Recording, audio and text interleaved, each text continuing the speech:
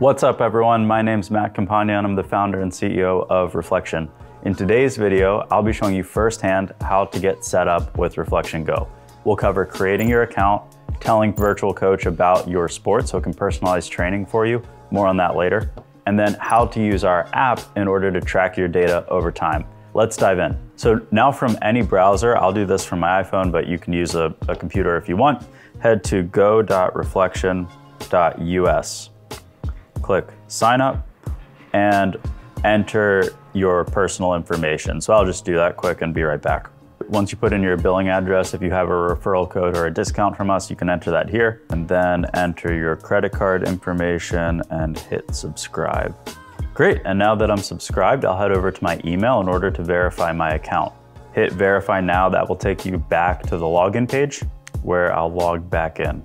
Here's where we'll personalize our account. And this is a really important step because Reflexions Virtual Coach tailors the training for you. So you'll give it your sport, position, level, and how often you train. And we'll use that information in order to tailor the cognitive skills um, that are most important for you as an athlete specifically into your training plans. Make sure to answer this honestly. And when you put in how many times per week you train, just put in the, the amount of times that you train per week for your sport. Here, I'm actually going to jump ahead. In the next video, we'll cover setting up your Quest and getting the Reflexion Go app installed.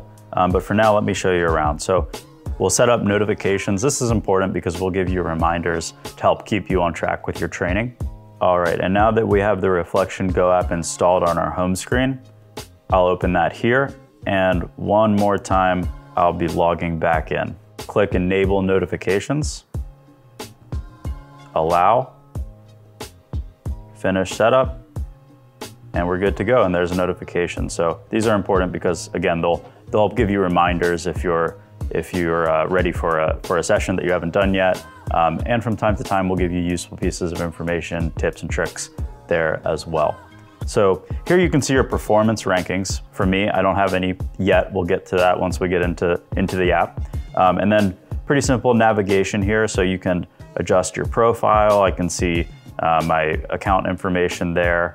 We can then go to billing and adjust our, our account. So if we wanted to upgrade, cancel subscription, update billing information, you can do this all from here as well. If you ever want to update your personalization, so let's say you're entering a different season in a different sport and you wanted to tailor it now for soccer instead of basketball. You can do that by clicking personalize and going through the setup again. Refer and earn. So once you're a happy Reflexion customer and you've been using Go for a few months, you can actually refer people to use Reflexion Go using your unique code right here. So you click generate referral link and whenever you give this link to somebody, it will give you one month free and give them their first month for 99 cents. So it's a really great way to spread the word. And lastly, you can always manage notification settings um, from here where it says notifications. You'll need a Meta Quest in order to use Reflexion Go. You can use a Quest 2, Quest 3, or Quest Pro, and we'll put links down in the description below so that you can go find those. Once you have your Quest, head over to part two where Emily will show you how to unbox it and how to install the Reflexion Go VR app. If you have any questions, feel free to reach out and we'd be happy to help.